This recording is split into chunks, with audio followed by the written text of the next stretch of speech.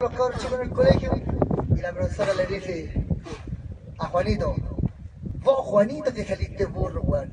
Nunca hay entender así como vais, nunca hay a poder pasar de curso, weón. Soy burro, chiquillo de mierda, le dijo. Ya, pues cabros chicos se fue para la casa y pensó durante el día y todo el tema. Total que el otro día va para, va para, acá, va para la escuela y viene caminando así, caballito.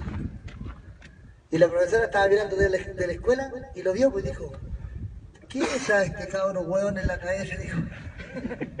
Ya, pues acercándose el, niñito y la profesora le dice, lo queda mirando así y traía un pollo en la cabeza.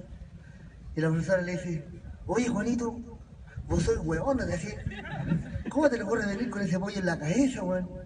¿Por qué se esa weón en la cabeza? Ver, dime. ¿Sabe qué día? Y que anoche pasé por la pieza de mi hermana y escuché cuando mi cuñado le decía, ponle un pollo en la cabeza para que pase. Ponle